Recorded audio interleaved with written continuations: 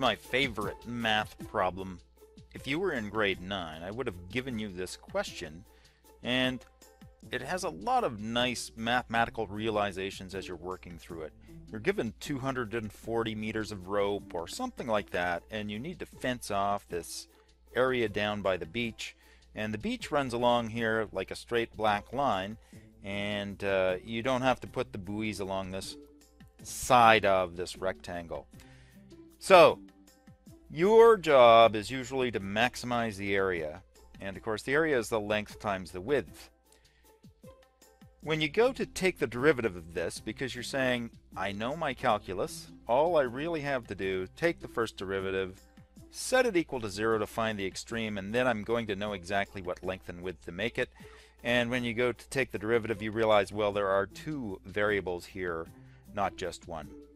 This goes to the heart of all optimization problems, and you're going to find there are two pieces of information, usually, within that optimization problem. First of all, there's a relationship that you need to maximize. In this case, it's area. Unfortunately, area is being expressed as the product of two different variables. The second piece of information is inevitably a constraint.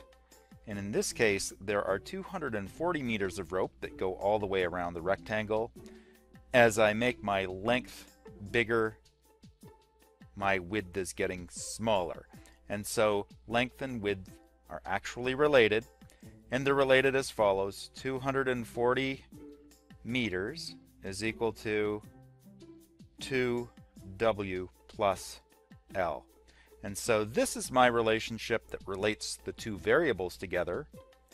And what I can do is isolate L so that I can do a substitution. So 240 minus 2w, and I think this is going to be the substitution that makes it easiest. Sometimes you find out it is not, but in this case I'm almost sure it is.